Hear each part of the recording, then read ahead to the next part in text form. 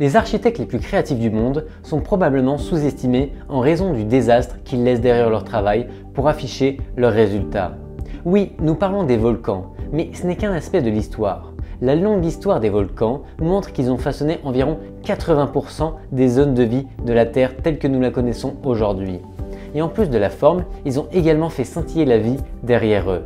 Mais comment est-il possible qu'une telle masse de feu, de roches et de gaz puisse déclencher la vie? Ce serait la principale question des personnes vivant à proximité des volcans qui entrent en éruption, et ceux qui d'une manière ou d'une autre ont pu assister de près à la fureur de l'un d'entre eux.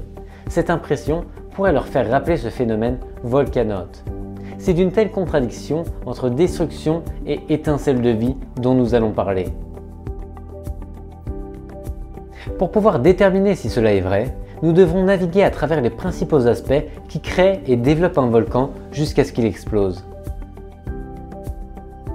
Un volcan est une ouverture à la surface d'une planète qui fonctionne comme un canal pour expulser des matériaux chauds de son intérieur pour créer l'effet d'une éruption. La partie supérieure s'appelle la bouche ou le cratère et les côtés s'appellent les flancs. Bien que nous les voyons principalement comme des montagnes, une telle forme se forme après son éruption et crée une colline qui accumule des tonnes de matériaux autour de la zone d'expulsion et continue de croître à mesure que le volcan expulse de la lave et des matériaux.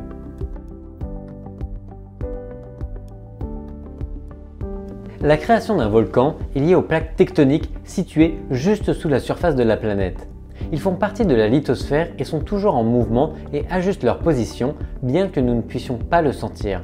Cependant, il existe deux activités et mouvements majeurs qui créent un volcan. Premièrement, lorsque les plaques tectoniques s'entrechoquent, l'une d'entre elles s'enfonce profondément sous l'autre jusqu'à atteindre une zone appelée zone de subduction. À ce moment-là, la température et la pression augmentent jusqu'à ce que les rochers libèrent de l'eau.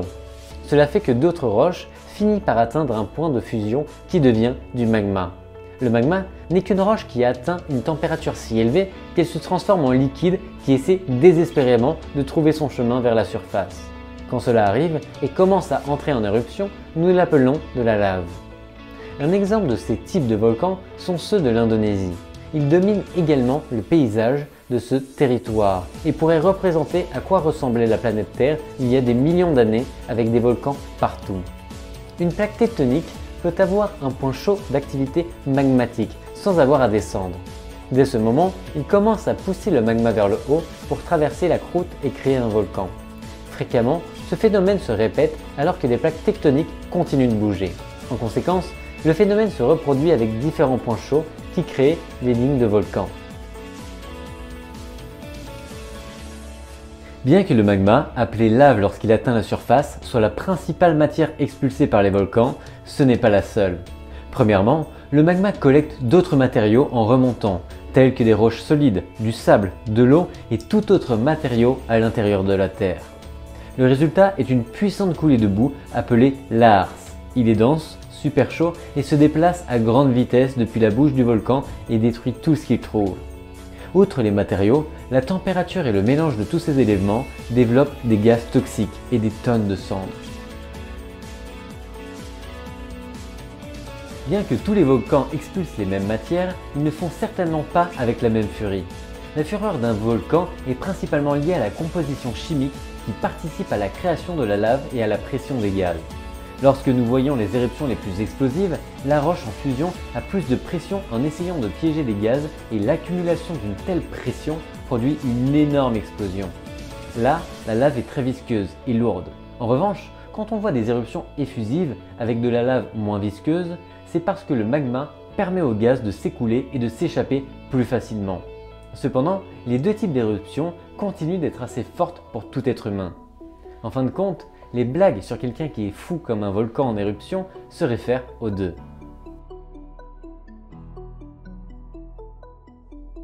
Les volcans sont principalement situés dans la ceinture de feu. Cette zone est également connue sous le nom de ceinture circumpacifique car elle est située autour de cet océan. Sa longueur est d'environ 40 000 km et 75%, soit environ 450, sont actifs. Certains pays comme l'Indonésie courent constamment le risque d'être surpris par une éruption. Il y a eu au moins 3 éruptions dans ce pays en 2020. Et en 2021, il y a eu récemment un une du volcan Monte Semeru, qui qui a fait fuir les gens. Dans cette zone se trouvent également des îles hawaïennes, avec des volcans actifs qui attirent des millions de touristes chaque année. Vous pouvez même profiter du voyage en hélicoptère pour profiter de la vue. En 2021 a également apporté l'éruption du volcan sur l'île de la Palma et de nombreux touristes sont devenus fous vers cette destination pour en être témoins en première ligne. Comme vous pouvez le voir, les volcans ont aussi un effet doux pour attirer les touristes dans certaines régions. Le fait qu'ils soient actifs ne signifie pas nécessairement qu'ils détruisent activement tout ce qui les entoure, mais tous les volcans ne sont pas actifs. Certains d'entre eux sont déjà inactifs et d'autres sont en sommeil. Cela signifie qu'ils peuvent éclater à tout moment sans préavis.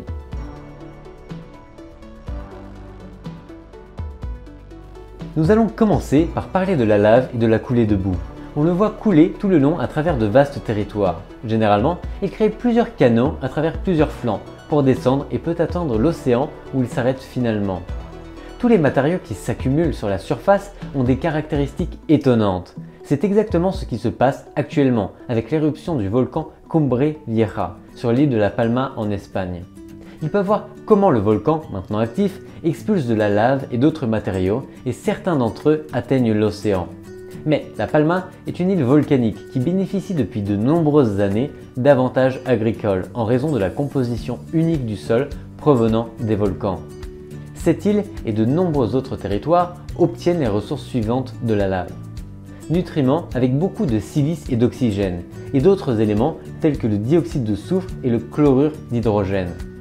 Roches contenant de grandes quantités de magnésium, de potassium et de fer qui sont tous de riches engrais naturels pour la terre. En conséquence, les terres augmentent leur fertilité et parfois celles qui n'étaient pas fertiles deviennent soudainement fertiles ou retrouvent leur fertilité. Un autre aspect remarquable est que tous ces éléments sont libérés en différentes portions au cours du temps. Par exemple, les études ont montré que les matériaux se décomposent près de la zone du volcan Vésuve en Italie. Là, le sol est fertile et riche en nutriments. Oui, la science va toujours de l'avant et est maintenant capable d'utiliser de jeunes systèmes volcaniques pour produire de l'énergie géothermique. Cependant, nous attendons toujours de voir comment cela fonctionnera. De plus, des minéraux précieux tels que l'or, l'argent, le zinc ou le cuivre semblent être liés à la lave expulsée par les volcans. Et enfin, la lave peut provoquer l'expansion de certains territoires. Tout comme ils les ont formés dans le passé, les volcans peuvent les atteindre en atteignant l'océan et en les remplissant de coulées de boue qui, en se solidifiant, deviennent de nouvelles terres. Les scientifiques et les volcanologues n'ont pas été en mesure de trouver un moyen de prédire une éruption. Bien que l'intérieur soit plein de magma et de pression, cela peut prendre plusieurs années pour exploser. Une analyse en quelques points sur les volcans. Malgré l'horreur que peut provoquer l'éruption d'un volcan, l'humanité a appris à prévenir de plus grandes catastrophes en se déplaçant dès qu'elles commencent à éclater. Peu importe que les gens pensent des volcans, car leurs activités sont hors de contrôle pour les scientifiques et les volcanologues. De nombreux aspects sont hors de contrôle et la seule façon de faire face aux volcans est d'atténuer les conséquences et de tirer parti des matériaux qu'ils expulsent la lave expulsée par les volcans peut être une solution partielle pour récupérer la fertilité de nombreux sols à travers le monde. Certaines pratiques agricoles peuvent éroder la terre et les avantages des volcans peuvent atténuer cela. Les volcans peuvent être ambivalents et apporter des catastrophes et des avantages. Cependant, l'humanité a la capacité de réduire les risques et de minimiser les aspects négatifs. Les volcans sont une magnifique source de vie, et cela ne devrait pas nous impressionner car tout cela vient du centre de la planète qui regorge de sources de vie. Et vous, que pensez-vous des volcans? Merci d'avoir suivi cette vidéo et à très vite sur cette même chaîne pour continuer à apprendre ce qui nous entoure.